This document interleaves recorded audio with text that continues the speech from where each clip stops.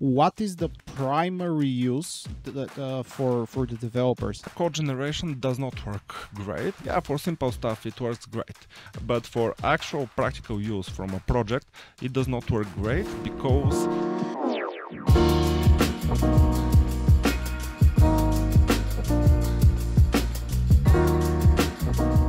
Hello, everyone, and welcome back to Hackcast season number four. We are so happy to be back and we are so happy to be back with you again.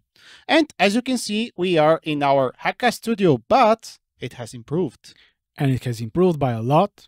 If you're interested at everything new that's happening in the studio, write in the comments. We may decide to uh, create a video or some kind of content about the new studio. So if you're interested, just comment below yeah, Teddy was Teddy was relentless for the past month, and everything is looking really, really professional. Uh, so yeah, drop us a comment if you want to see more about our new studio.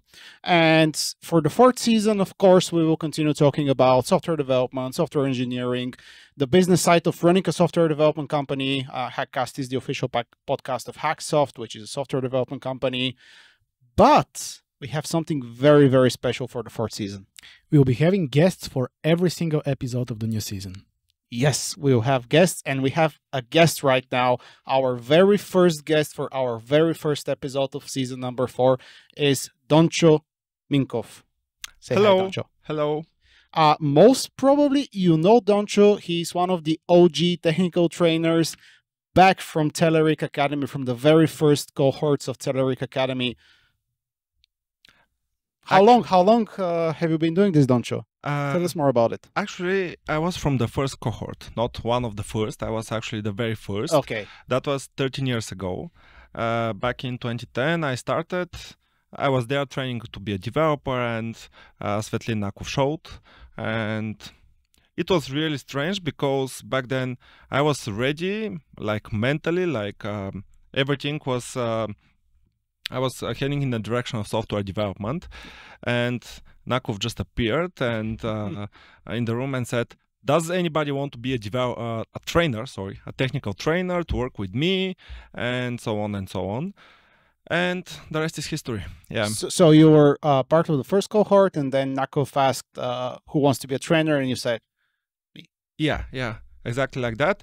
And uh, two of us, we are we were a very small group back then. Mm. We were like uh, 14 or 15, something like that. Oh, wow. Very small group, yeah. And two of us uh, auditioned for the technical trainer role, and Nakov chose me. And uh, I think it was July, something like that. So more than 13 years. More than 13 years. Yeah and this does not mean that we are old we're actually quite young but we just also started quite young so yeah. 13 years is nothing. And uh, by the way ivo you, you have a story with doncho yeah doncho was actually my, my first teacher in the academy. I was participating in c sharp uh, fundamentals 1 and c sharp fundamentals 2 one oh, of my nice. favorite teachers in the telerik academy back then. Yeah thank you ivo yeah, so the, basically, Doncho, uh, he's like responsible, he and the, the rest of the Telerik Academy back then crew, for teaching so many developers that actually found a job after this and built a better life for them. So uh, kudos, Doncho, for, for doing all of this. Thank you. Uh, thank you. This should really be appreciated because it, I, I know it means a lot for a lot of people. Yeah, and uh, I believe you're still doing this uh, now in SoftUni. Yeah. Uh, you're still a technical trainer? Yeah.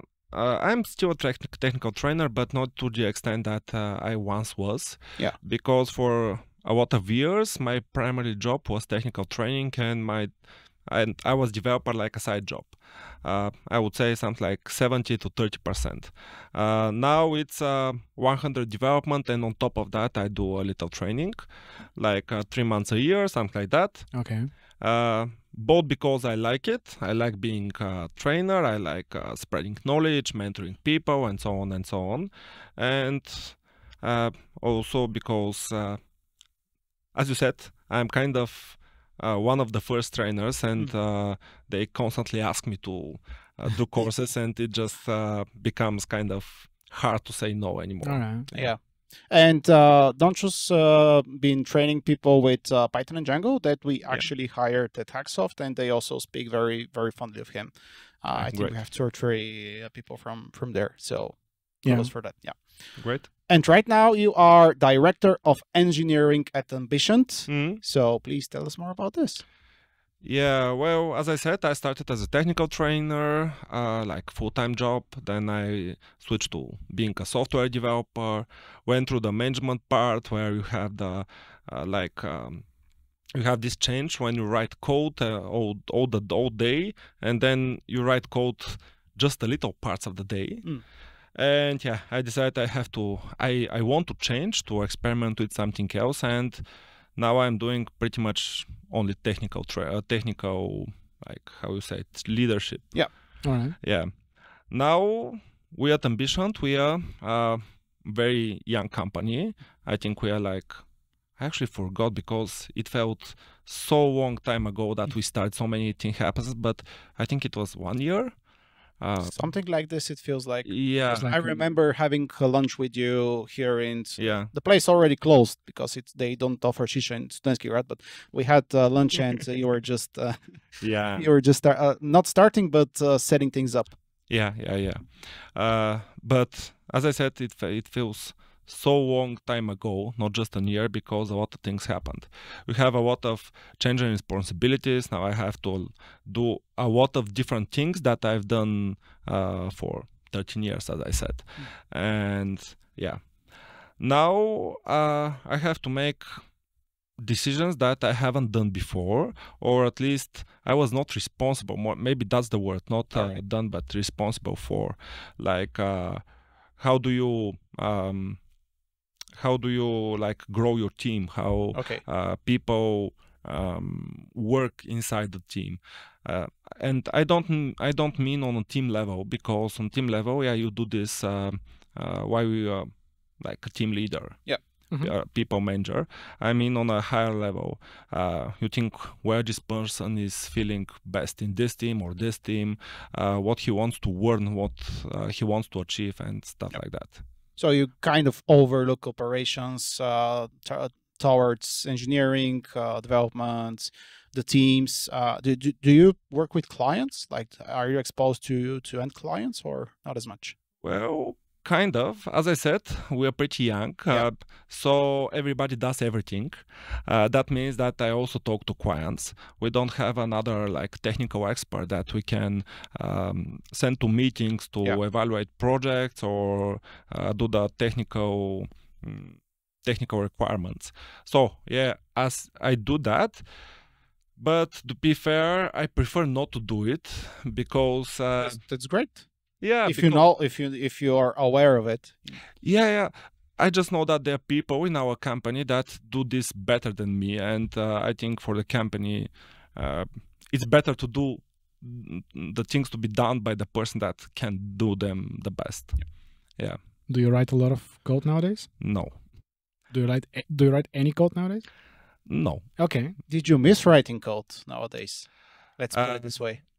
I do miss it a little. Uh, actually, I write a little code, but it's like for side projects. Right. Uh, during work, I don't write code because I think that's a very important thing when you uh, grow in a position that Mm. you have to know what you are supposed to do and uh, what you want to do. And I can write code.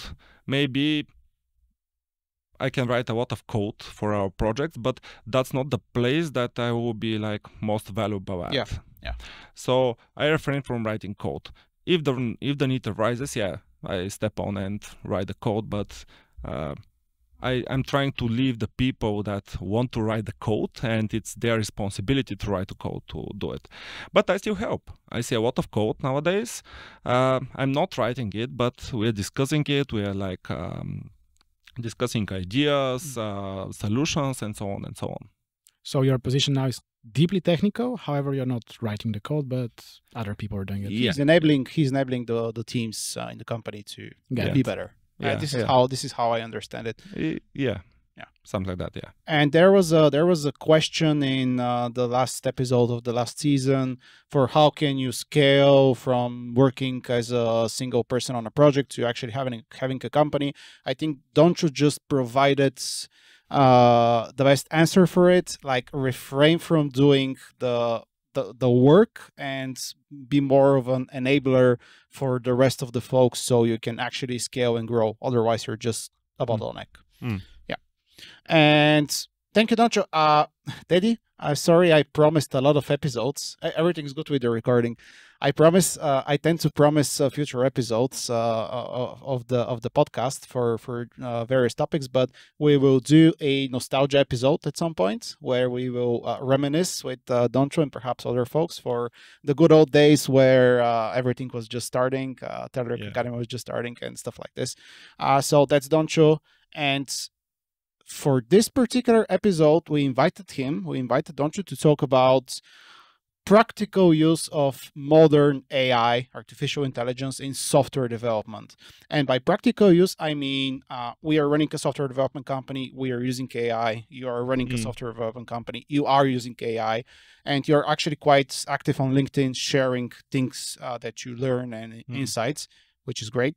And we want to focus this episode on the practicality. Like, let's talk about our day to day work and the tools that we use in our day to day work and the observations that we have in our, our day to day work. Future episodes, we can do something more theoretical, but let's keep it pragmatic and practical for this episode. Great. And uh, there are plenty of tools, and we just have to start somewhere. We will go into more details for each of the tools, but Doncho, let's start somewhere. What are you using currently for your day to day job and the day to day job of, of the folks working at Ambitioned uh, from the set of, uh, I think right now I can say infinite amount of uh, AI tools out there? Yeah. Well, I'll start with the obvious uh, thing. We use a lot of AI chatbots, All right. uh, like ChatGPT Claude. I think it's pronounced Claude. We actually discussed it before before the yeah. yeah. I think it's Claude because it's French. Never mind. Um, I tried also Bard, but uh, to be fair, I'm not impressed with Bard. So Mm. I just give it a try once uh, once a few weeks. Uh, we also use uh, other things like Copilot, like uh, Tabnine, All right. and from then on, it depends on the job you do. Uh, actually, I, I use a lot of Grammarly and DeepL um, because um, this is, as I said earlier, I'm not writing a lot of code. Yep. So I'm writing a lot of letters, uh, like emails, uh, documentation, and so on and so on. And I don't have uh, much use from Copilot. All right. Yeah. That's interesting. Okay, so let's let's pick the the like the biggest one. The most popular tool out there is ChatGPT. Of course, this Yeah. this is the thing that started uh, all all of this. Yeah. So h- how do you use and how do you leverage ChatGPT in the software development day to day work? That's very very interesting topic because for the past like six months, something like that, uh, we've been experimenting a lot with a lot of AI tools. Why? Because uh, as I already said, we are s- still young and we can like um, we can do it. Uh, it's allowed still to do it, Yeah. and yeah. So ChatGPT, as you said. Uh, is the most popular one, the thing that started it all, and of course, it's uh, the mostly the most used tool. ChatGPT, by ChatGPT, I mean the uh, premium version. Was it Plus or Premium? I'm not sure. The, Yeah, paid subs- one. The subscribe. Yeah. The paid okay. one, yeah. So do you, do you have like a single subscription or everyone at the company has a subscription? How how do you how do you do it? Uh, now, for now, we're using two subscriptions for Okay.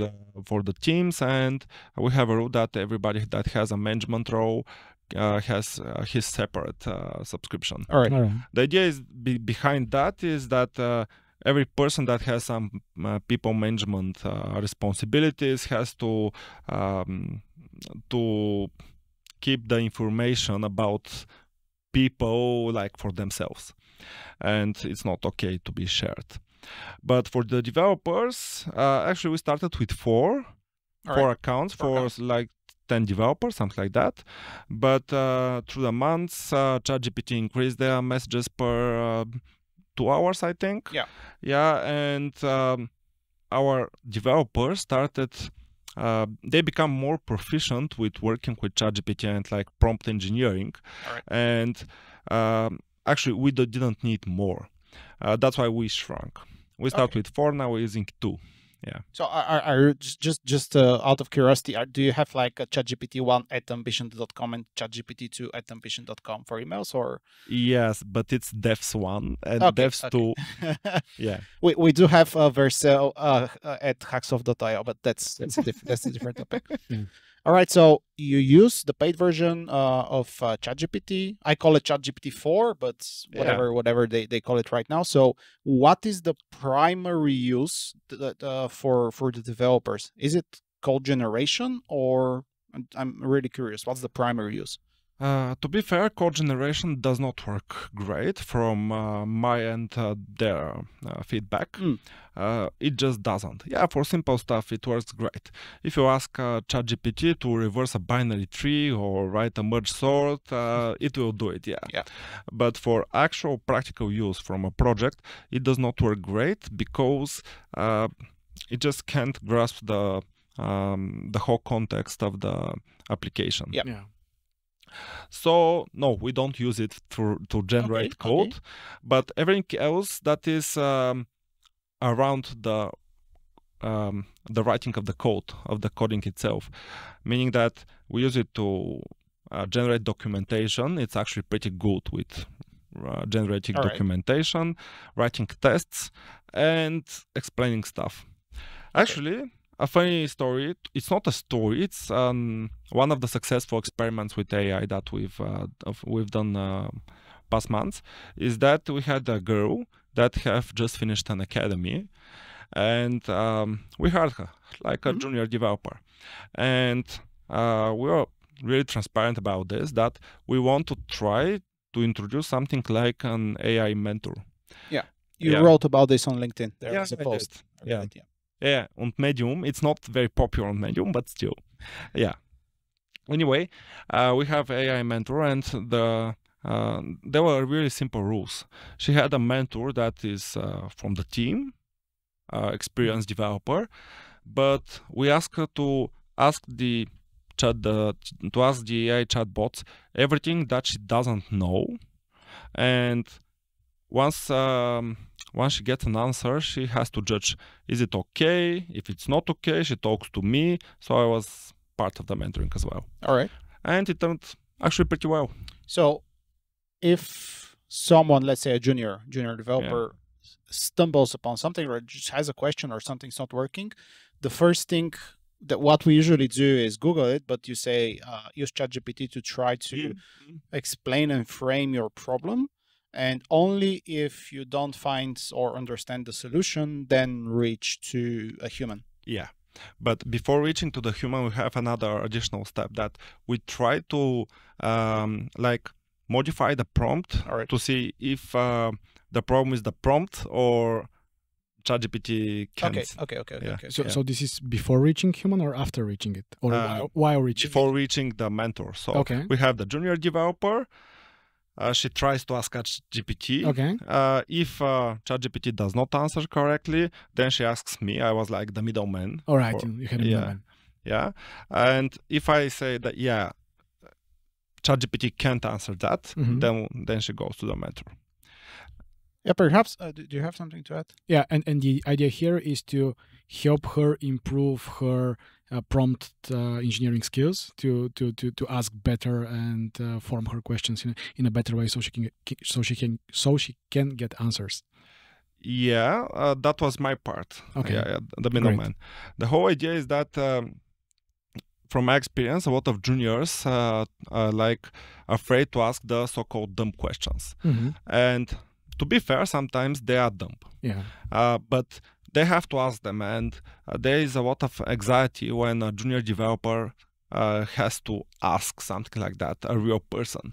And ChatGPT or AI in general, uh, for better or for worse, uh, has no morality. So uh, you can ask him, ask Yeah, yeah, yeah. ChatGPT anything, and it will just answer.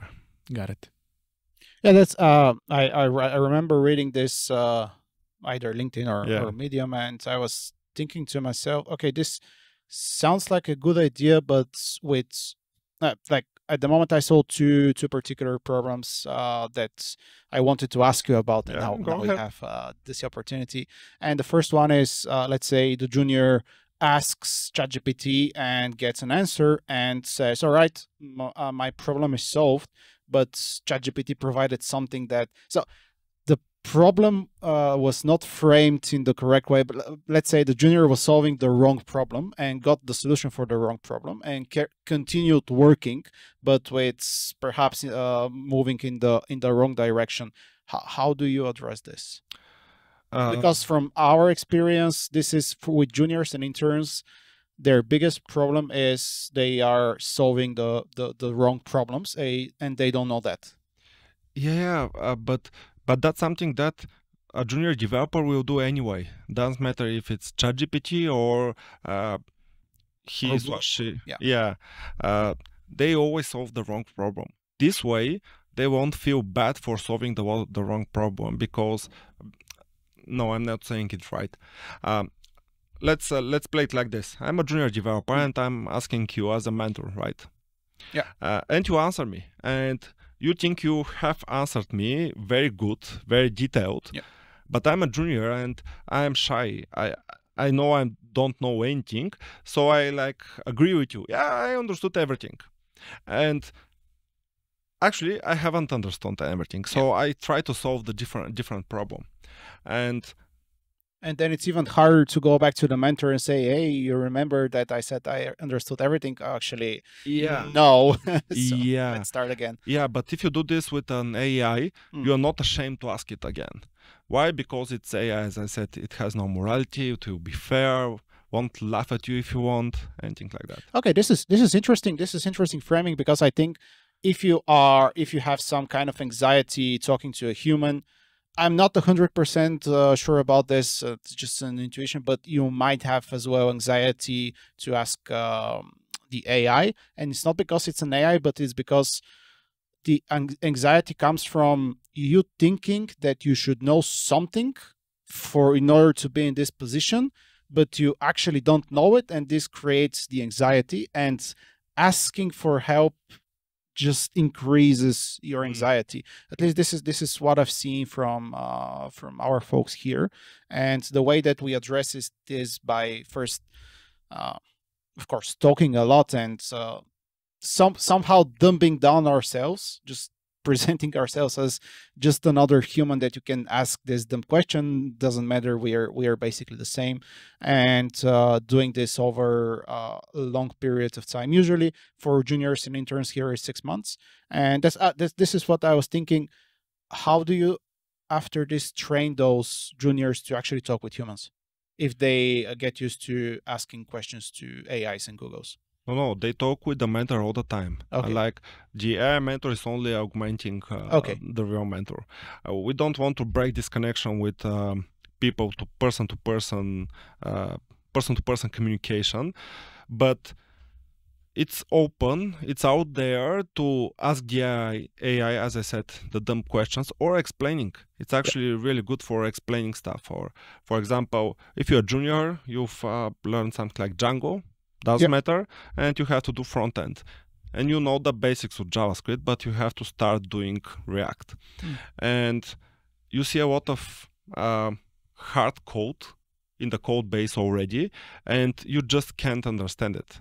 You can just copy and paste it to uh, chatbot and it will explain to you. yeah got it to to understand the framework. Basically hey uh, this there are some strange things here from the react code base that i haven't seen. Yeah. as we had an as we had an example uh, we have folks who learned react here with hooks. Like they learned react with hooks and they're very good with hooks and they had to jump in a code base where we still had class components Okay. Okay. Yeah. it was a really interesting experience because you had to explain it backwards and now i now that i'm uh, thinking through it perhaps ChatGPT could have helped a lot here because you Mm. can just say, "Hey, I have only knowledge about React hooks, and here's a s- example um, class-based code. Can you navigate me through it?" Yeah. yeah, You can do that. Okay, that's smart. To be fair, uh, in the case with React, I mean, class-based uh, views, uh, not not views. Uh, sorry. Uh, Com- components components yeah thank you uh, with the case with class um, class based components in react actually chatgpt performs better with class based components because uh, because of its data. Yeah. Yeah. There's more uh, class-based code base out there. Yeah. Compo- Yeah. class-based components code base out there. Yeah. All right. So okay, this is this is actually then smart. If my, my, my general problem was the lack of human connection, uh, because juniors need to learn to talk Mm. with other people. But if you're not breaking this, then it's very valuable to teach them the the necessary skills because we were joking that sometimes we have to teach people how to Google, but this is basically the same thing Yeah, yeah. How to frame your questions so you can find a proper answer or a good direction yeah to your yeah. answer. Yeah, exactly. Awesome. Okay, so you said you don't use it for code generation. You use it for uh, the the very thing that we just uh, discussed. Anything else about ChatGPT in software development uh, context? Yeah, yeah, of course. Uh, well, we use it for documentation. No developer like, likes to write documentation, so this solves a lot of problems then. What kind of documentation? Uh, in code documentation, So, so, so the person reading this documentation is another developer that is yeah, reading the code. and Yeah. the document and the code documentation. I have tried it, actually Claude, not ChatGPT, because uh, the ChatGPT now has uh, data analysis to upload files, uh, but it doesn't work great with .NET code, and we use .NET, so Mm, uh, mm. it tries to do some um, regular expressions stuff to understand the code that it just doesn't. Yeah. Um, so I, I used Claude Okay. uh, Claude uh, has uh, file upload from I don't know many months now. Still, it still has it, Mm. and then you can upload all the code and just ask him write me uh, domain knowledge documentation that will be right. uh, read by other people, not not technical people. The problem here is that uh, the context of Claude is not that big. That's actually the problem because uh, it works on a different um, m- uh, uh, different way than ChatGPT. ChatGPT just forgets stuff uh, that is like at the top of the conversation, Yeah. and once you reach the uh, context window in Claude, it just tells you, ah, context uh, done. You can't continue. So you have to start over again, but with a different context. Yeah, but if you have a watch code base, you just Mm. can't do that. And I tried it. It works really nice uh, for a very small package that we were developing. Uh, actually, it's more it's um, a lot like the Django admin bar for .NET, and as it's it's a it's a package, it's not that big, Mm. and you can upload all the code, and it works great. But yeah, Awesome. I'll, I'll come back to to uploading the code to Claude. Okay. We have uh, we have a point to address here uh, because it's it's quite uh, important uh, Okay. the, for, for the practical sense of things. Um, my experience, uh, I'll share some tips. Not not tips, but what I use uh, ChatGPT for for Mhm. software development is first of all explaining regular expressions. It's great. I never learned them. I actually learned them like 15 times or 20 Yeah. times. Never actually got Exactly. got the correct intuition, and it's really good at explaining and writing them and writing, generating, for example, tests that help you cover cover the Mm. the regular expressions. I use it a lot for uh, manipulating CSV data, like a lot. Okay. Here's the CSV because I just don't want to write the Python or Pandas code for this. And just, just please, here's the CSV, change this column to this, and add another column and do this. And it's it's doing a really really good job, uh, and this Okay. saves a lot of time. And what I really really like about ChatGPT because we we had an episode back in season season three or season two, that season three about AI. And uh, my general good feeling back then was okay, ChatGPT feels like Google with extra steps, Hmm. meaning if I have to search for some particular topic uh, and I don't have ChatGPT, I Google it, I then open 10 to 15 pages, I start reading and I start taking down notes in a separate document, and it's like an ongoing process. And what I felt back then is that ChatGPT is doing all those steps for me and it's presenting me with it with the final content Yeah. uh, but the, the the actual the, the power for me is that it, it can generate content that never existed before Hmm. based on based on uh, based on the knowledge that, that it that it has for example we have right now a php project Okay. we, uh, we we took uh, very good clients, uh, and it's PHP. And we have a team that's working with PHP. We, we have we are PHP OGs with with Ivo. We started Back in the days. Yeah, back Yeah. in the days, and ChatGPT is just ex- extremely powerful for hey in Django we have something that's called prefetch related that does Yeah. this thing yeah. how I'm not going to swear how do I do this in Laravel and it just gives me an example and this is super powerful because it saves me the time to search in Stack Overflow or uh, for some kind of a blog post where someone explains this and Yeah. there's like very little chance for someone to explain cr- cross Django cross Laravel uh, True. things that that match and for me this is extremely powerful Yeah, and it's solving another problem. A huge problem to me is that whenever I Google something, nowadays I'm the first couple of search results are just big wonk articles that are specifically written for SEO purpose in order for you to go there, agree with a couple cookie uh, Yeah. pop-ups, so you can dig there and find your answer that is basically three lines of example code. I don't know why why Google is failing so much with showing you the right content that's answering your question. they have to sell ads and this is Yeah. also a problem that uh, ChatGPT is going to have Probably yeah, but but for now, for simple technical questions that you should be that you should know the answer, but you probably forgot. It is way faster to me to receive the right answer instead of googling it and going to a couple articles that are really long with a lot of content that's not supposed to be there. It's just there for the word count and for the Yeah. uh, keywords count and and so on. And research you know I, I- I don't want to discard google yet but uh, sometimes when i have to start researching a topic that i have no idea about for example how do i implement uh, a wix uh, plugin for Okay. wix e-commerce Alright. i can google it but they have like tons of documentation and I, you just was there, you know. I want to be pointed in the right direction. And then I start with ChatGPT. It gives me proper terms, which after this I used to craft a better query for Google, and then I found what, what I need. yeah. Uh, but for sure, I don't want to discard Google yet. You know, for some of the things, at least I'm uh, I'm quite um, what's the word for it? I don't trust everything that ChatGPT writes to me. Exactly. Yeah. Basically, I trust nothing. But then you can validate with the rest of the internet. Yeah. Yeah. The the the the wings example was kind of uh, good because it's imagine some things that were not true, and our research was some kind somehow based on things that are not exactly true. I wrote an offer to a client based only on ChatGPT, which turned out to be uh, hallucinating about a very important specific thing. Uh, luckily, we didn't got the client. Okay. because we thought, oh, this is this is really really fast, and ChatGPT hallucinated something that if this thing actually existed, it's going to be really fast to implement it, but yeah. it didn't exist. it didn't. Okay. Okay. Interesting. yeah. It's uh, it's uh, from my experience, it's also very nice. Uh, very good at researching. You can use it to compare stuff. Mm. I actually used it last week to uh, find a GaN charger.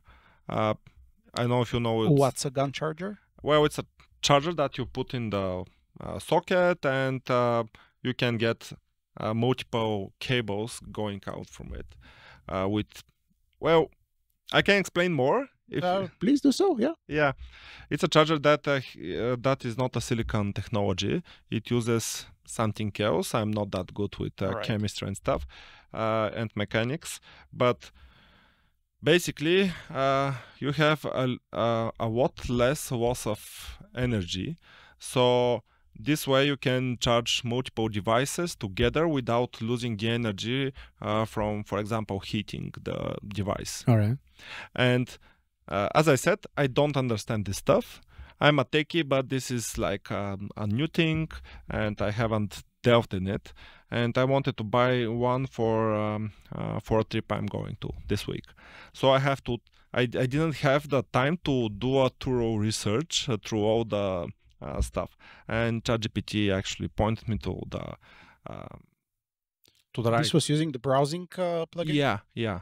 Okay. It's using the browser plugin, and it even uh, sent me, ask him to um, to find me the top ten GaN chargers out there that I can buy in Europe, and um, have at least something like one 100 uh, watts of power, something like that. I don't remember the actual prompt, but yes, and uh, also to find the review reviews on these devices and like Mm, mm. summarize the information. And it, it actually proved very nice because uh, I did a very quick research after that, and actually the things that it suggested were the top uh, devices Nice. out there. Okay, so uh, my takeaway is uh, we should use uh, ChatGPT more. I suppose Yeah, Sure. it can do it can do this. This is an interesting uh, approach. Yeah. And let's just summarize so far. You're using it as uh, like uh, augmentation to your to the mentorship that you're doing at the company. Uh, not not as much for code generation. And I Mm. can understand this. It's we'll, we'll talk about Copilot next. Um, you use it for explanation and for generating documentation and for research, which is Yeah. I also use Anything it. else? yeah, yeah. Actually, a lot more else. I use uh, ChatGPT a lot, and uh, I'm like trying to motivate the team to use it even more. Mm. Uh, I use it also as a validator of ideas. Uh, Tell us more. yeah if you have uh, some kind of idea and you have two or three ways you can think of of uh, like implementing it. Doesn't matter if it's actual code or something else. You can use it as um, like like um uh how do you say it? Like the, part- or the participant Mm. uh, that can argue with you. And you can say to to the chatbot act as for example a ceo or act as a technical leader or act as everybody. Give me the perspective of uh, for example the ceo of a potential client Mm. and and so on and so on. And the things it writes it generates uh, sometimes they're not good as you as you said as well. But um, it's it's still good for brainstorming. You can yeah bra- brainstorming is actually the word. You can brainstorm with it. I use it a lot of uh, a lot in my posts. When i write a post actually the posts are not ai generated but i use ai to like validate them. Mm. uh, for the target audience um, i use them to uh, tell me what are the like uh, what are the feelings of the audience after they read it and stuff like that um, Okay. yeah for things like that i use it a lot and let me think of something i said a lot of things Do do you do you validate the the results uh, based on because if I ask ChatGPT, hey, how how would the audience feel about this? Uh, I know I'm I'm I kind of won't trust the response because ChatGPT does not know my audience. Do you kind of validate how the audience reacted with what ChatGPT said to you back? i'm planning to do it uh, like a thorough re- um, thorough uh, how do you say it uh, thoroughly try Thoroughly, like Y- i- i- in yeah. its entire. yeah yeah yeah, but uh, it takes a lot of time Yeah. so I, I haven't done it already but uh, i do it from time to time for single posts and it's fine as you said it's hard to predict what will the what will be the reaction of the audience but still if there is something very obvious that you can see because you're the author and i have Okay. written this post like 15 minutes ago i don't see it actually obviously and it can say yeah this is this is not okay for example uh, i know two weeks ago i written a code about uh, static analysis it doesn't matter that much but i wrote something like static analysis is god and in the modern world ChatGPT said yeah you can't use god here Yeah, yeah, yeah. okay. yeah Too controversial. yeah you have to use something else and i said okay static analysis is king and it said oh that's not okay because why it's not queen and so on and so yeah, on yeah, yeah, okay. Makes you okay. Got it. Gives you back things to think about. Yeah like the most scandalous stuff scandalous is not the word the most uh,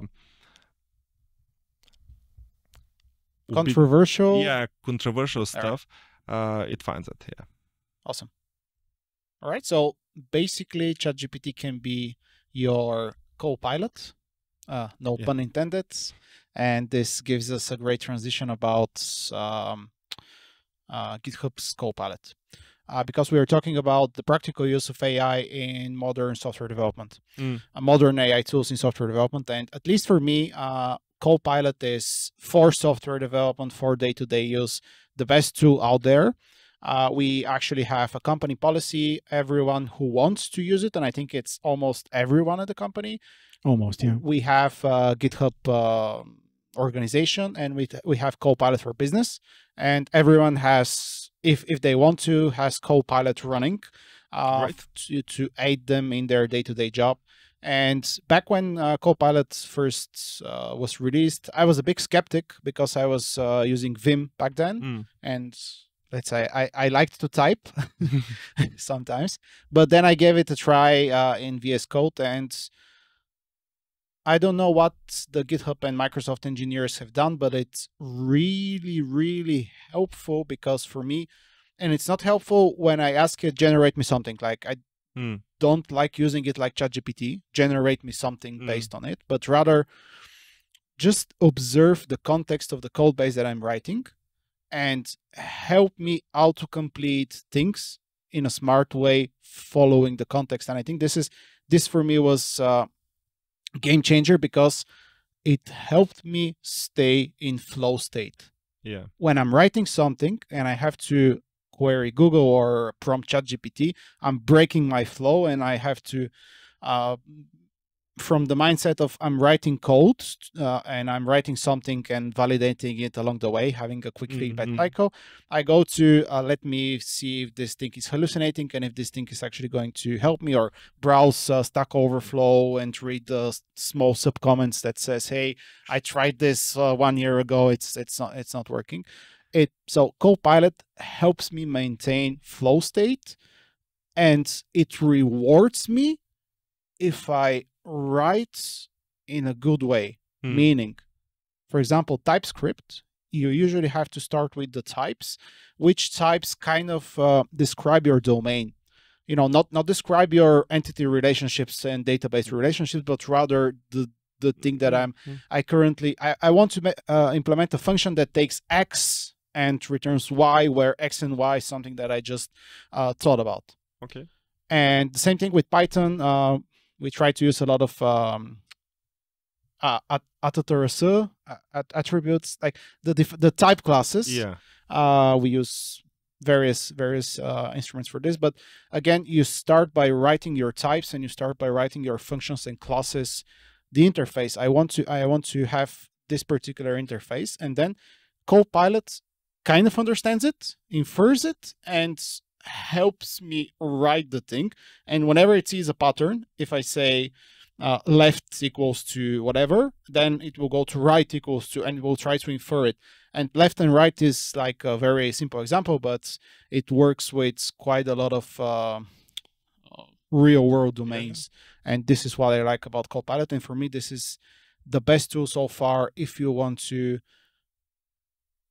have help not Yeah. not it's not about only increasing productivity but rather someone thinking alongside you and helping you autocomplete what you want to write True. I would add that uh, Copilot actually helps with the mundane work. Uh, for example, if you have to do some DTO or something like that, and you have a lot of work that is pretty much copy paste. Yeah. I'm talking from C sharp uh, background. now. dto is uh, data Like- transfer objects Yeah, yeah.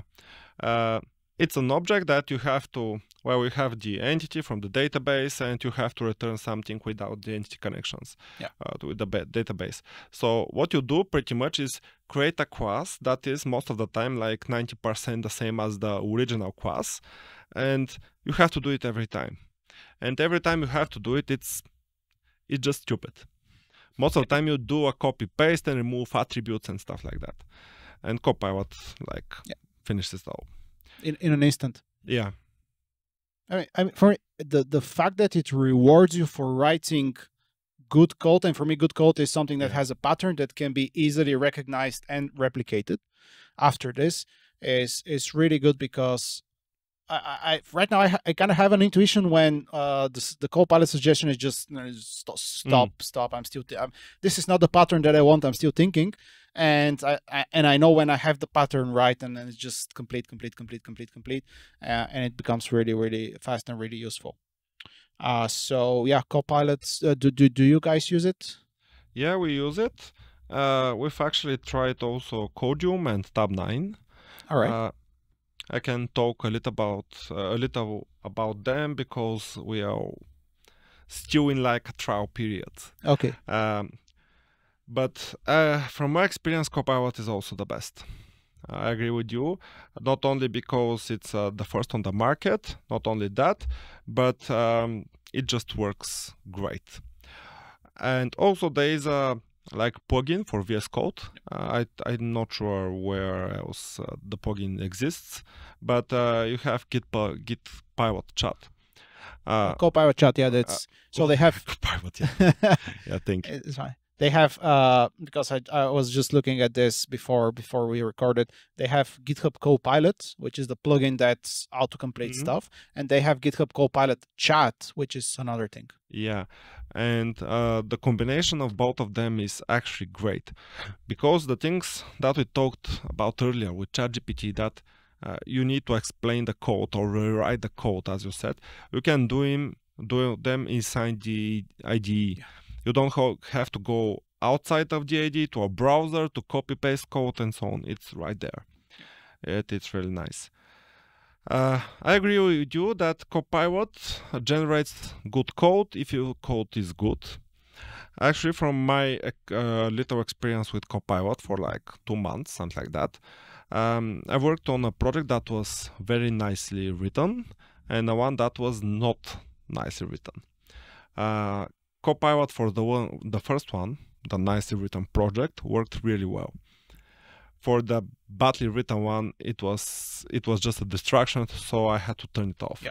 and uh, it doesn't it works okay if your code is okay which is actually nice because that way you learn how to write good code so you can be helped by these tools as you said Exactly, you're rewarded for good design. yeah yeah I have a disclaimer to make here. For me, every time, I mean, the the mode that I'm in while writing code is pretty different than the mode I'm in while reviewing code. Mm. So while I'm writing, it's really easy for the copilot to suggest something that looks good to me right now, but when I'm reviewing the code, I'm oh my god, did I just commit that? I mean, Hmm. it was not a great suggestion, and it looks good to me when I was in a writing mode, but now that I'm in a reviewing mode, it's not even there. And you need to be really careful with this because that's the exact point I'm always doing a self pull request review before asking others to review it. Mm. Just because I'm now in the reviewing mode, so I'm like more skeptical, challenging things more, not in the writing mode. And it's it's tricky. It is nice to receive good su- some some suggestions, but when you are in a writing mode, suggestions may be looking good right now and being like re- really bad in two hours when you are reviewing them. yeah I've been That's- many times situation, oh, that looks good right now. I'm just tap, tap, tap. Yeah, this function now works great. And like 20 minutes after that, I'm reviewing my own code and I'm, oh, this is this is not even But good it- for pull request. Again, my my biggest well, what's the word for it pet peeve or critique for all those tools is you should not use them uh, in, s- to replace your thinking. Mhm. and copilot you know you don't you have to know what copilot will suggest to you and then just auto complete it i think this is the proper flow state and the proper state of mind you don't you if you are surprised by what copilot is suggesting to you then perhaps Copilot will not help you as much if you are in a flow state, knowing the direction that you're going.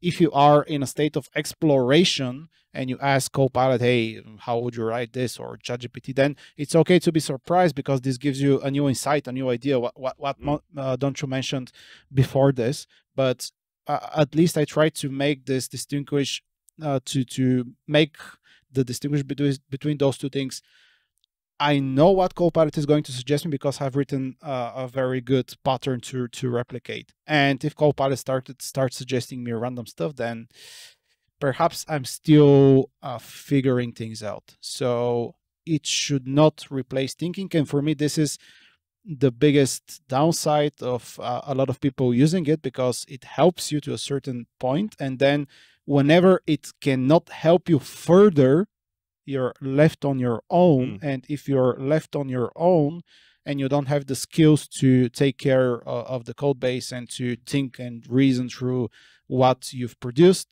uh, you're going to be in a very bad situation True. Exactly. Yeah. we we had a uh, s- s- an anecdote. We had a client that reached out to us that said, "Hey, I have generated a Django app. It works, but I'm getting some errors. So can you um, help me out?" And through the discussions, I realized like they really needed the app to be rewritten Hmm. or all done in in a different way, and uh, this client just didn't have the budget for for, for this Hmm. and has has gotten to a point where Copilot and ChatGPT was producing code that was throwing runtime exceptions, and then you don't have the skills to deal with this.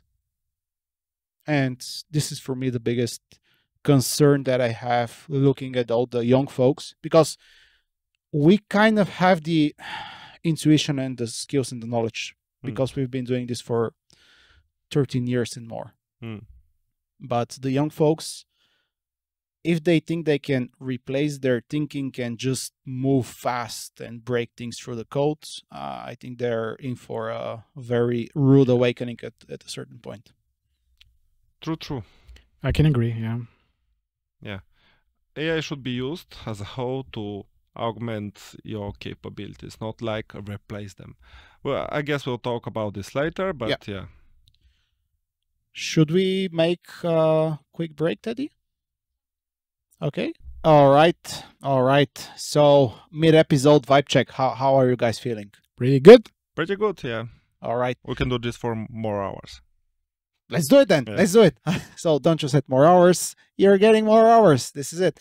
Uh, while we were talking about the episode, you mentioned that you want to talk about DeepL and Grammarly for generating documentation. So I have written this down, and uh, please, I have never heard for DeepL before you mentioned it. Grammarly, we all know it, but I think it's going to be interesting insight. Well, I use them both. Uh, how to say it? Um, I use them both, uh, but for different uh, things.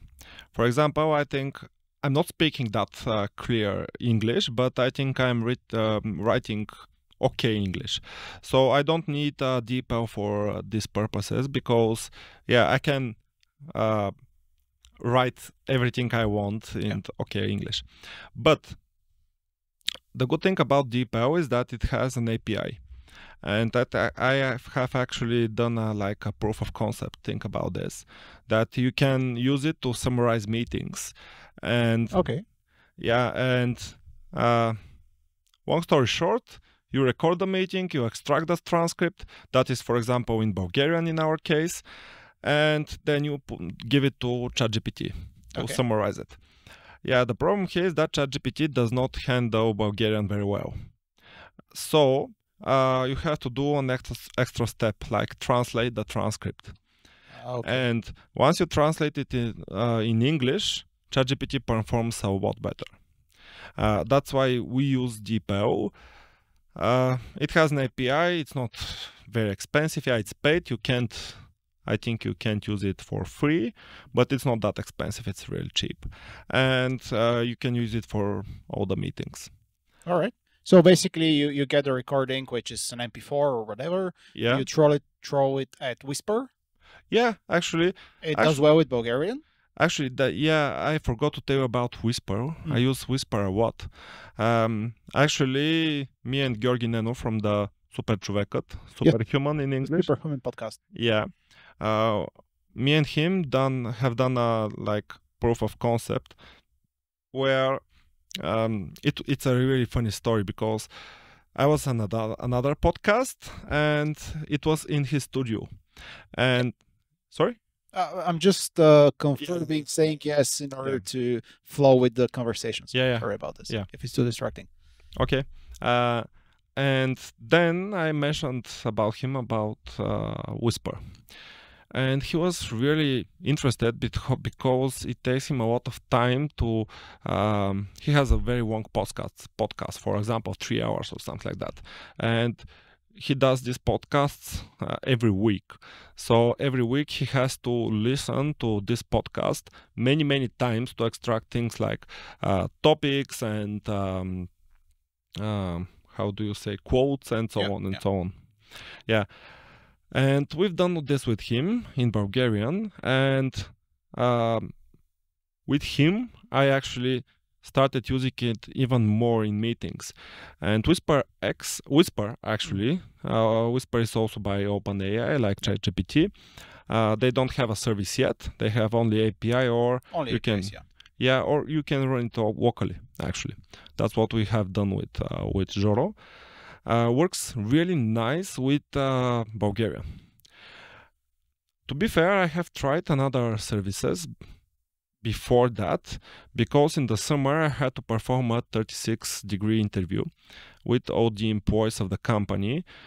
Uh, back then we were like 20 or something, Hmm. and that's a lot of stuff that I have to write write down. I wanted to do it like in a one week, uh, so I can get, go out of the um, for my job, yeah, for my work. And I tried another tools. Uh, I I don't remember them actually. There are. Yeah.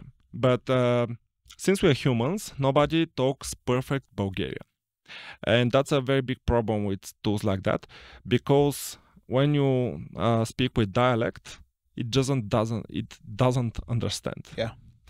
Uh, we have a colleague that uh, used to be a teacher, and she speaks very nice Bulgarian, very correct grammatically. She uh, speaks the whole words and so on. Oh, perfect Bulgarian, and it understood everything. Uh, Nice. she said, but uh, the tools didn't understand me or the other guys that guys and gals we in, I interviewed. So uh, then I found Whisper, Hmm. and Whisper actually performs really well with Bulgarian. Really well. It even has uh, like catchphrases, for example, quo and uh, uh, maniac, Показа баце. показа Вай, бате, маняк. Uh, всичките... Sorry, sorry. I We continued just Bulgarian. gave some examples for what Whisper can understand from Bulgarian. Yeah. Yeah, which is uh, like impressive. And the thing it in Whisper is going more technical is that you can actually vote on uh, model that is trained with Bulgarian data, and uh, that's why it understands Bulgarian really, really nice. And I use Whisper like every day because I have meetings every day, not not like wonk meetings, but I have a lot of uh, 15 minute wonk meetings, and uh, I record every meeting. How do you record them? Using Zoom or OBS or what? No, uh, currently I use Otter AI if it's a short meeting. Okay. Uh, it's another like AI tool. It actually provides transcription out of the box, but only in English. Yeah. And since we're talking in Bulgarian, I only get the recording, and it extracts me an MP3 file, and yeah, yeah, record them, record the meeting, get the transcript. Uh, it used to take a lot of time because I don't have a like ultra powerful GPU, and uh, for example, with Joro, for a three hours long podcast, it took, uh, I don't know, like four hours to Okay. transcribe it. Um, and four hours that I was not able to use my PC because it was like. Uh, already- Burning the GPU. yeah, yeah. Um, then I do it, did it in Colab. I don't know if you have heard of Colab, like Google Colab. Uh, never mind. Google Colab is like an online place where you can write code. All you right. can execute code in Python, Okay. and uh, it is prepared for working with uh, like um, AI. Running on Google Cloud infrastructure, I suppose. Yeah. And there you have a free GPU that is T4, which is not the best, but it's still way greater than anything you can buy at home. All right. And for purposes like this, uh, we we were able to decrease the time for like four hours to seven minutes or something like that, and it's really Wow. nice. Yeah. Okay, so that's really smart, folks. You can uh, basically do the same thing if you are in the same situation. Yeah, yeah, yeah. You can do it, and uh, then DeepL comes in because, as as I said, the talk and the transcript is in Bulgarian, and ChatGPT does not uh, understand Bulgarian very well. Well, it does, but not as good as in English, because for uh, like uh, three hours long conversation, there are a lot of words, Yeah. and uh, you feel the context pretty fast. I think it was like 8k in ChatGPT, something like that. Or 12, or yeah, something like yeah, that. something like that, which is like 20 minutes of talking, and Yeah. we're talking about three hours. And here comes uh, DeepL. Uh, once you translate it to DeepL, uh, you get the trans- transcript in English, and then actually I use another tool. It's called GPTrim. I'm not sure how you pronounce it. It's not very popular, but the idea idea behind this is that from the transcript you can extract only the tokens, and yeah, for example, in promise, promising, you don't need the promising the whole word for ChatGPT to understand it. You need only promise, if I am not mistaken. So that's for characters saved from from this. And then you can fit the whole transcription into a context. And it actually works pretty nice. All right. So the summary is uh, you use Whisper to uh, extract the transcript from the recording. Yeah. Uh, you then uh, use uh, DeepL to translate it. Then you you pass it through uh, GPTrim. Yeah. which basically uh, reduce kind of reduces the words uh, and the Yeah. tokens. Yeah. Uh, and uh, ChatGPT or the LLM behind it still understands what you're trying to say, so you can pass within the context window, and then you get whatever you, you want to get out of out of this.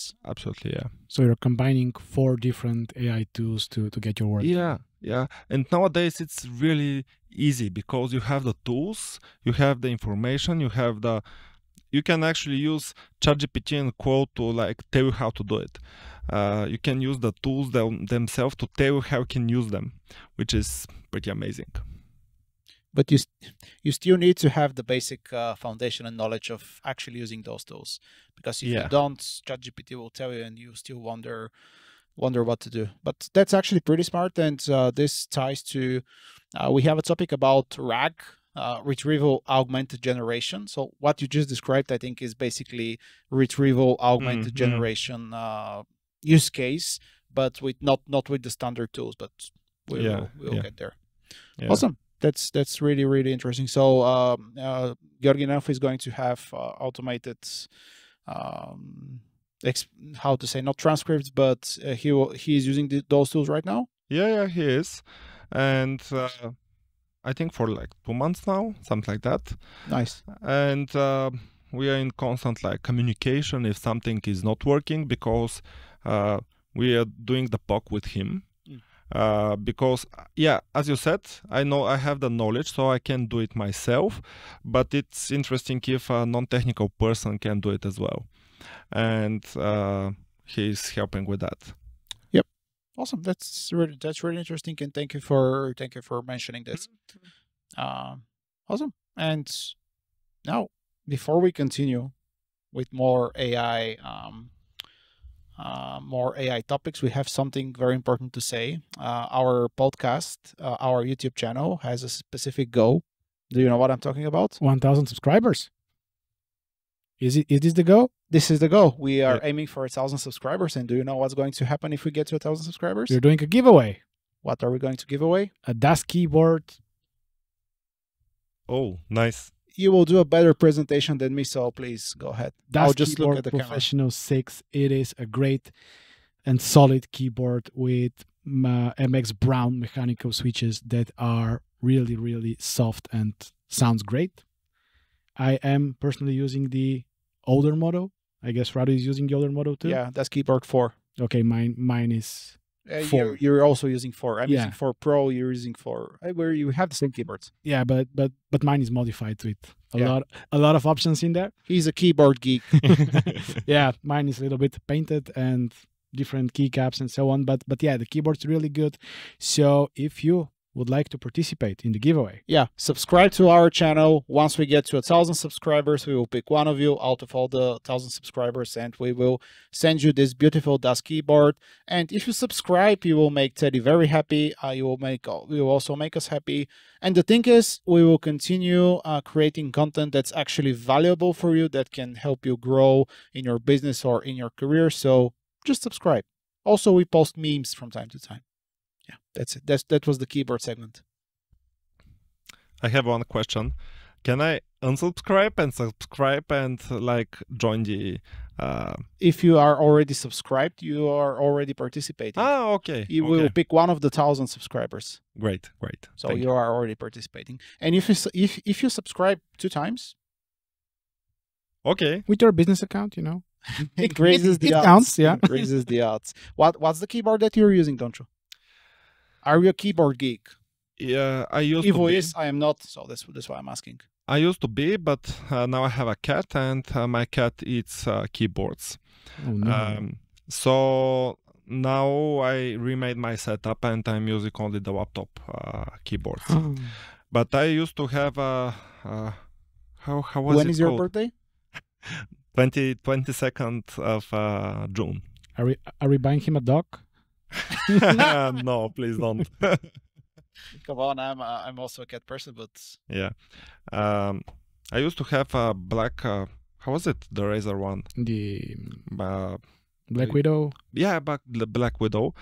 Uh, I had different keyboards throughout throughout the like past few years.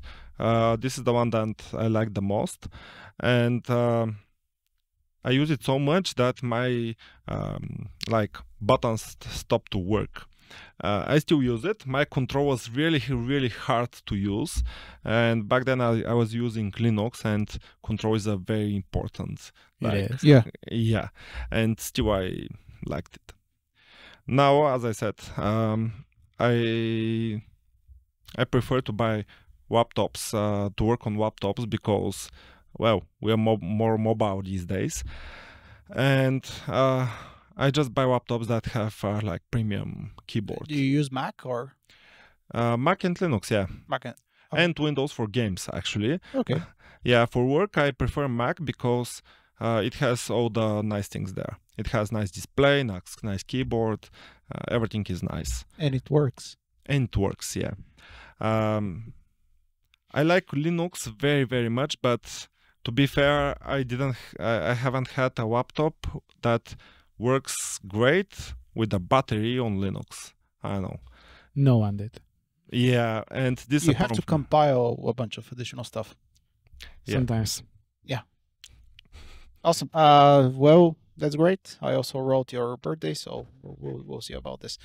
Uh, and to continue with the AI topic, something very important. Uh, now let's get to the business side of things. Since we are working with end clients, you're also working with end clients. Do your clients have any concerns about uh, privacy concerns about you using um, AI tools? For example, leaking the code. You mentioned uploading the code to Claude, uh, which for some clients this may sound like a privacy nightmare. Yeah. Uh, well, we discuss this with the clients, and if they're not okay with it, yeah, we do it without AI. Uh, we turn off the Copilot and uh, don't use ChatGPT for for things that can be related to the project.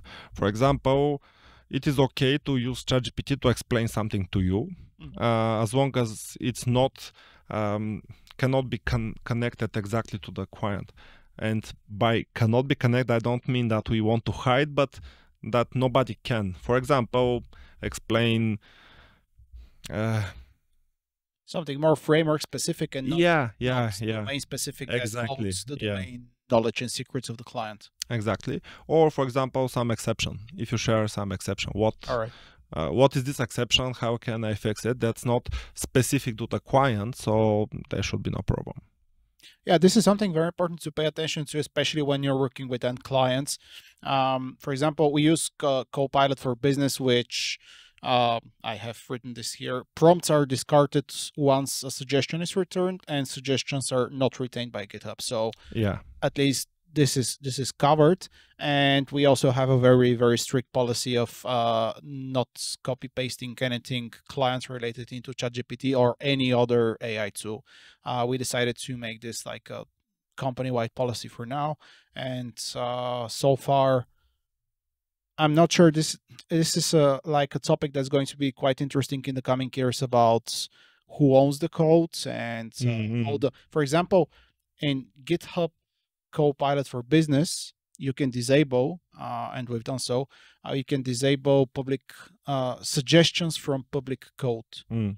because you might end up in, um, Yeah. with Using. some licen- licensing issues. yeah. There were some licensing issues where Copilot just kind of generated some uh, GPL and other other Yeah. li- license that's most of the clients are not happy uh, having this code in their code base. So this is really important, and it's an uh, it's an interesting topic for for how this is going to unfold and turn out. Okay. I guess this is going to become a nightmare at some point. You can right now steal code without knowing that you're stealing it. You can just get a suggestion, and this suggestion may be something that's copyrighted or something that has a license that does not just allow you to to get For and for. Copilot, you can disable this.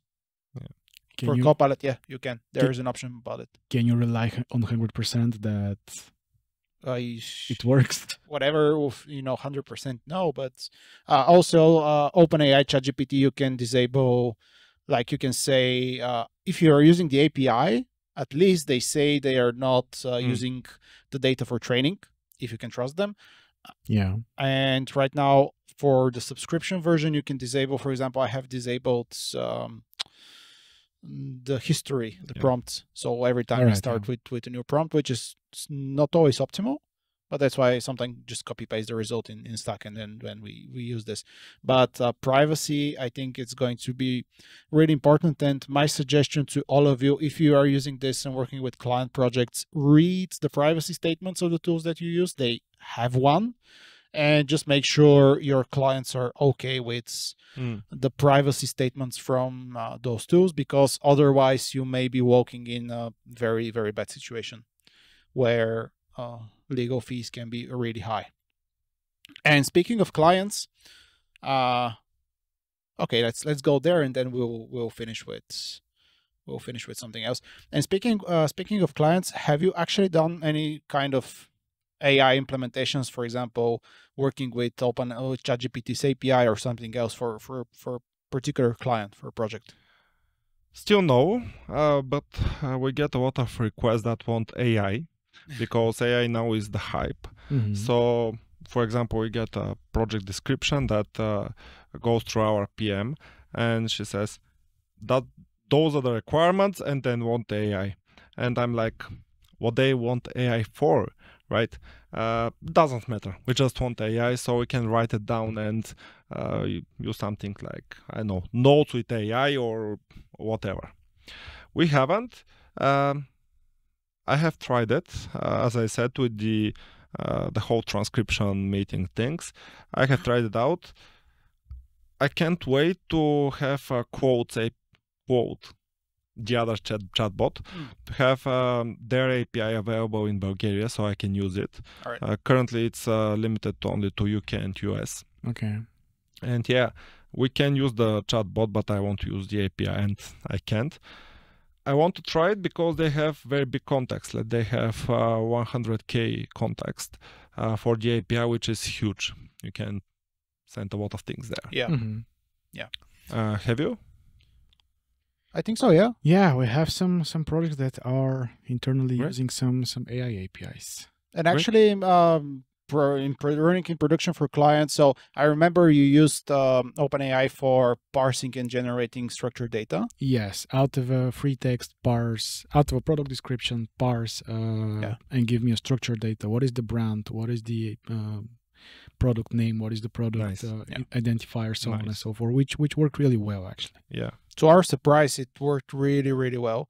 And we have uh, a couple more clients uh, where we basically implemented something that that's called RAG, Retrieval Augmented Generation, which is basically hey, I have some data and I want to be asking questions towards that data. And the data usually is like 20 pages, uh, 20 pages PDF or Mm. 200 pages of PDF and or, or so, something like this. And the implementation kind of follows the standard RAG uh, implementations where uh, we used, I think, LangChain uh, for for both, which is the popular Python library Mm. for for doing retrieval augmented generation. And the general idea is if you can upload 200 pages PDF in ChatGPT and ChatGPT can use this as a context, then you can ask questions Mm. around this context. But the context window is much, much smaller. But so if you want to do this, you have to first chunk your PDF into smaller parts and store the vector embeddings in a vector database for which you can use OpenAI's. Uh, they have an API which you give them text and they just return you floating points, Hmm. which is the vector representation of the text. And then you can store, basically trans, uh, tra- transfer the text into vector format format and store this vector format in a vector database. Uh, those became quite popular, Hmm. of course, recently, uh, like Pinecone and or- or just you can, you can use Postgres for this.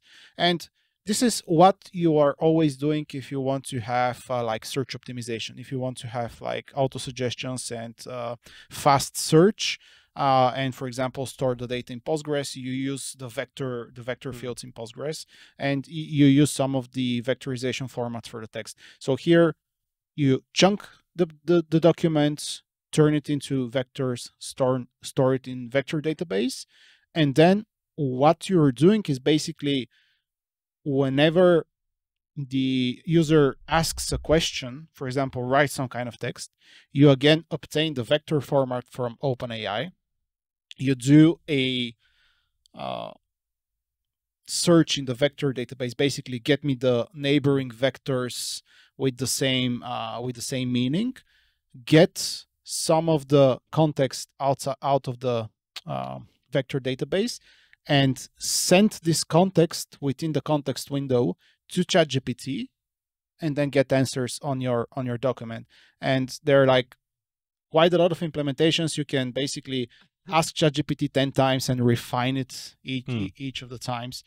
Uh, it's a, it's a really interesting pro- um, engineering problem to solve because there is no single solution that just works. You have to fiddle a lot with how do you chunk, what kind of vector database are you using, how much are you refining, and the end result is you get answers over the data that you have, over your private data that you have. So those are implementations that we've done. Two Yeah. implementations, three, but different each time because Nice. the context is different. And uh, we will share, we have some resources, but basically LangChain is a thing that we've been using and it's a Python library with a lot of Hmm. tooling around this. Oh, yeah, Great. and that way you can chat with your documentation, which is extremely nice. Yeah. It sounds really nice. It takes a lot of effort in order to make it actually usable. Yeah. Otherwise, you you get you get strange results. You get strange results. Mhm. and there's a lot of prompt engineering that you need to do. Mm. All right. So let's talk about the human side of things. And with this we can we can wrap we can wrap the episode. I have I have a topic here about burnout. And I've been thinking a lot about burnout, uh, especially in the context of AI. And I have the following question If those tools are making us more productive as software engineers, does this mean that we will be burning out way more because usually non technical people, how they reason about things, oh, you can use AI to do this five times faster. I want five times more performance out of Hmm. you. Just use AI in order to obtain that performance. And this will surely produce a lot of, uh, how to say, pressure towards software engineers to be uh, more productive when the tools, yes, they make you more productive, but it's not like a magic wand where Mhm. everything is just happening. So, what's your view on that? Yeah, I was thinking about that. I was thinking about that a lot because I would say that not uh, not that somebody expects you to do a lot more, um, but how to say it? Well, you when you are solving a problem, we talked actually about that a little. When you're solving a problem, there is interesting stuff like engineering stuff, and there is mundane work, mundane work, something that you just have to write. And yeah, it may may be boring, you may be uh, tiresome, and so on, but you are not thinking it because um, you just have to do it. And this way, your mind can rest for for a little. And using ODI tools, if this work is done for you, Copilot or uh, Tabnine or ChatGPT doesn't matter. If all of this is done for you automatically, you don't have this rest time. So you're always like thinking. Um, that's my thought. I'm I'm not sure if the burnout will uh, burn, burnout rates will increase. Uh, I think they are pretty high right now.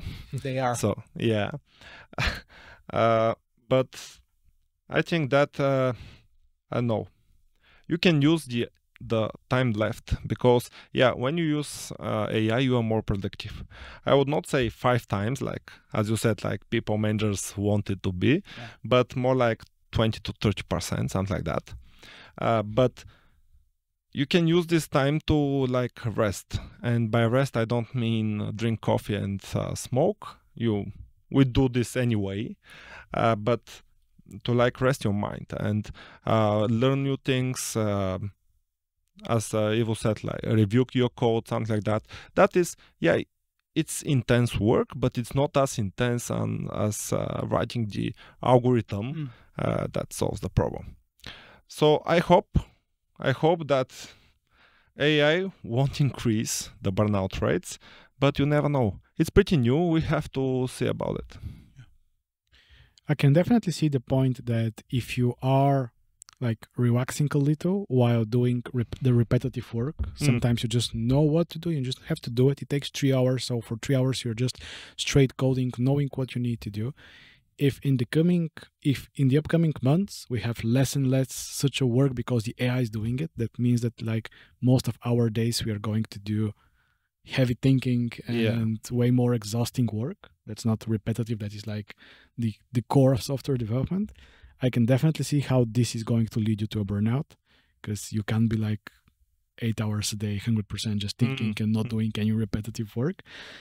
Uh, my, my my even biggest concern is that there is so much new information about AI, new new researches, new papers, new new new products are releasing basically every day.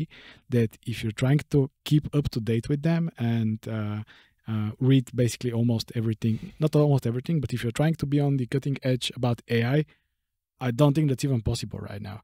Yeah. It's so much information that I sometimes get tired of reading and uh, exploring different tools. And I'm like, you know what? I'm closing everything. I will check in two weeks. If the situation is still the same, then good. If it's not, I guess someone is going to to tell me there's something new and big out there. In one of the clients that we are working, there is a full-time person that is reading papers and investigating what is going on here and there and okay. posting the important information in the chat so we can we can consume but it is a startup towards ai so that's kind of important for them Yeah. Okay. and there are a lot of new things going out like almost every day yeah. new, absolutely. new models new new new articles with a lot of information new researches a lot of things Absolutely. As with everything else, I think is just a lot of there is a lot of FOMO, like fear of missing out, uh, in the software engineering space. And my biggest problem is that your the AI that you're using, your co-pilots, will maintain the pace that you maintain. It Mhm. can run, it can go slow. It's just moving with your pace. And sometimes the thing that's missing is something to actually slow you down and pace you like when you're running you can just run like crazy for for a lot of time. You, you need to you need to be pacing yourself. And i think it's the same with working and especially software engineering. Sometimes you need to pace yourself because otherwise uh, you will just burn yourself out. And the my other concern is all the toxic managers that will push people uh, to perform more because there's ai now like you have no excuse not to ship this thing this week because come on just use ai and I've heard such things, and that's why that's why I'm raising. I I, I don't have a good answer for the question. It's just just uh, something to think about. Mm, absolutely, absolutely. And moving so on the human side of things, uh, a bit more philosophical.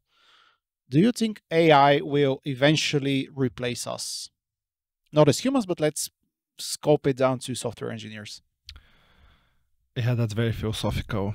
I would say that in short term, no. In short term, I mean like a couple of uh, decades, maybe.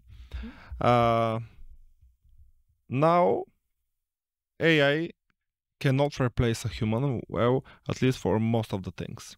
Yeah, AI helps a lot in explaining code, as we said, in transcribing, um, actually in speaking.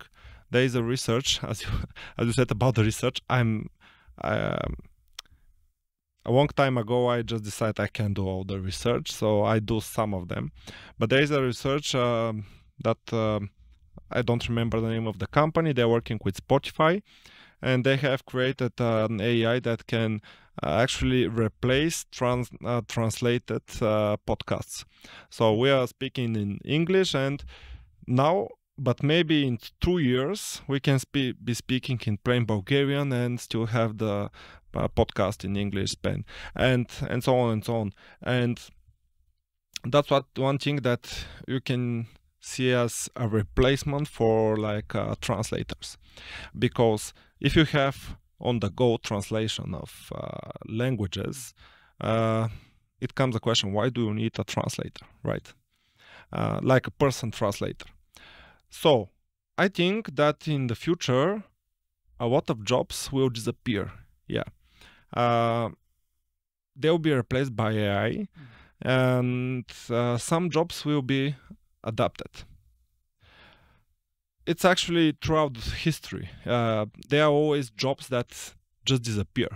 For example, we no more have uh, like people manually rowing the field, right? Yeah we have uh, like machines doing that and machines upgrading and so on. We haven't ceased to exist, but the, these people have to adapt. So you have to adapt to the tools and you have to learn how to use them. And in my opinion, it's uh, important to adapt to them as early as possible because this way uh, you are ahead of everything else. It's it's much like in 2007, I think, something like that, that we had uh, Google. Google started to be yeah. yeah.